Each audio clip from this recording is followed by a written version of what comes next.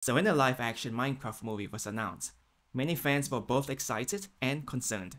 Turning such a visually distinct, blocky game into a live-action seemed like a bold choice. And now that the teaser is here, those concerns are becoming more real. One of the most noticeable aspects of the teaser is the portrayal of Steve, Minecraft's default character.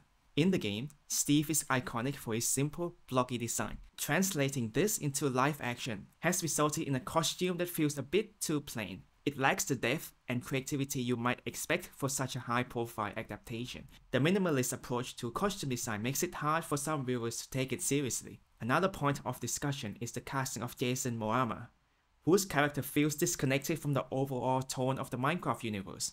While Minecraft aesthetics works perfectly in its blocky digital format, the combination of real actors and animated creatures just doesn't seem to have the intended impact. The animals, for instance, are more detailed than expected, Yet, they come across as out of place next to the live action actors. Many fans were hoping the film would go in the direction of a fully animated feature. Instead, the decision to mix live action with animation feels like a missed opportunity to fully embrace the charm of the Minecraft world.